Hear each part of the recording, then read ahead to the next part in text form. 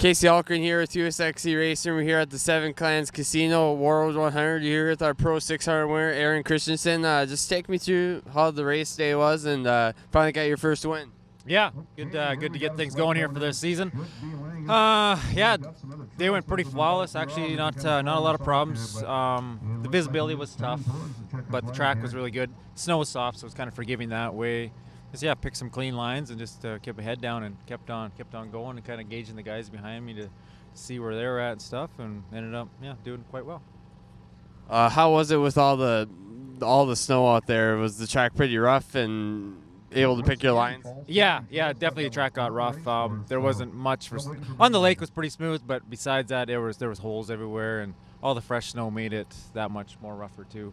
Um, there wasn't uh, yeah wasn't many spots that there wasn't a few bumps. How does it feel to get your win finally? Good. Yeah. No, it's uh, a while coming here this season, but uh, yeah, it's always good. You know, always always there. And Zach's always tough too. You know, he uh, he's fast, so if he runs a farthest lace, it's it's tough. You know. Uh, who would you like to thank?